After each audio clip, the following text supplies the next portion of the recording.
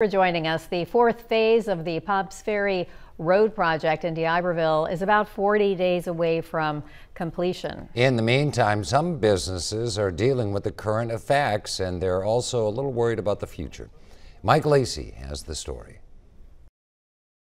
There are issues with just about any kind of infrastructure project, but in D'Iberville, it's particularly painful for a few businesses that are just about to open as this Popp's Ferry Road construction continues. City officials acknowledge there's an issue, but say it's a short-term problem for a long-term gain.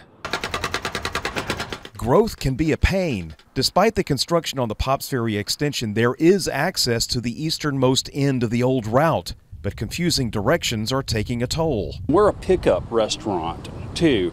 So how are people going to get in? How are they going to get out? We're confused about that. Dave Melton is just days away from opening his new business, Rockin' Chicken and Waffles. But the area is now more out of the way because of the diversion designed to accommodate the city's expansion. That's the growth line. That's where we're experiencing, that's where we're growing, and that's where future growth is going to materialize along that corridor. It's a great thing the city is doing.